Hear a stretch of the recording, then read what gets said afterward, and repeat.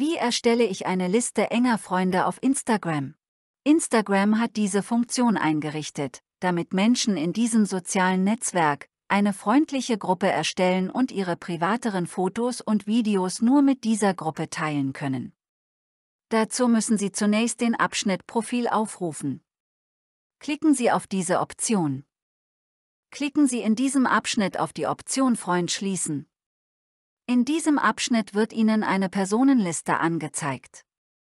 Sie sollten in dieser Liste nach Ihren Freunden und denen suchen, die Sie haben möchten, und diese auswählen. Sie können in dieser Liste beliebig viele Personen auswählen und es gibt keine Begrenzung.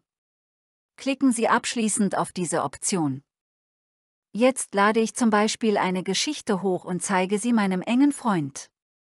Wenn Sie die Story jetzt öffnen, sehen Sie in dieser rechten Ecke eine grüne Option.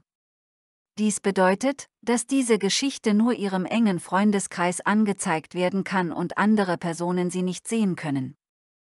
Bitte liken und Kanal abonnieren.